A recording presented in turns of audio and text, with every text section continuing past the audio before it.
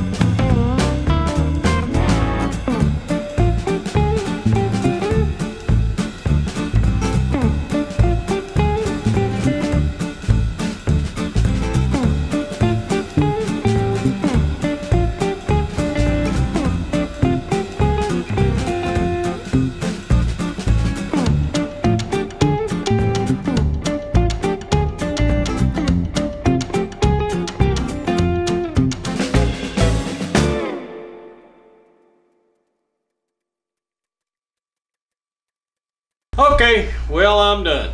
You know, the other day y'all saw me build uh, this. It's just a big cage so that when I set chicks outside, they've got a cage to run around in. This is my brood box. It's where they go uh, when I first get them. Uh, this will have um, ah, pine shavings in it. Chicks go in there. Where they live. Uh, I've got the light to hang over the top. I've got the pine shavings. I've got the uh, I don't know chick feed. It's a particular thing, but uh, I've got that. I think I've got everything I need. So I built this. Got a cage to keep the cats out, keep the chickens in.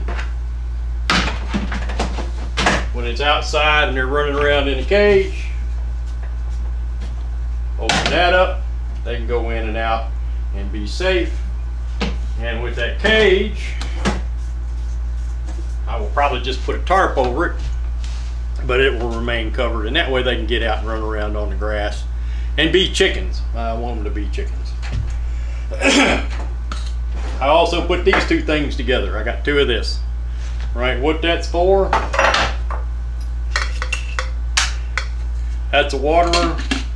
Uh, it'll be a quart jar, not a pint jar. Sits there, stick a plate on top of that. All the poop goes down through there into the pine shavings. Put, like I said, put a plate on top of that upside down. The plate upside down keeps the chickens from pooping in the water. Do the same thing. I've got your basic chick feeder. All right, sits there. Both of those, it'd be kind of crowded, but both of those will fit inside the box on top of the pine shavings. And it's just a sanitary thing, keeps things clean. That's where they'll probably spend their first three weeks of life. Uh, after that, hopefully I can get them down to my farm. Uh, I've got a chicken tractor down there and I have ordered a poultry net, 164 foot electric net with the battery and all that. Got that from Premier One. Uh, and hopefully I'm ready to go. I should have everything I need to get these chicks started, get everything going, get them into chickens, and keep it up. My biggest problem is going to be when I've got chickens down at the farm and I'm still living in this house. I have to get up every morning and drive 13 miles, which doesn't sound like much, but it's 25, 30 minutes, that 13 miles, um, and get those chicks. But anyway, that's what we've done today. Uh, I was gonna cut bolts off a uh, wood stove, but I didn't get that far. I'm gonna give it up, make videos. I may go out and eat dinner. My wife's run off, so I might go out and eat dinner. But anyway, remember, I'm Mark. I'm just an old Kentucky homesteader. If you like this kind of stuff, hit the subscribe button, ding the little bell, get notifications. And in the meantime, y'all have a wonderful, wonderful day.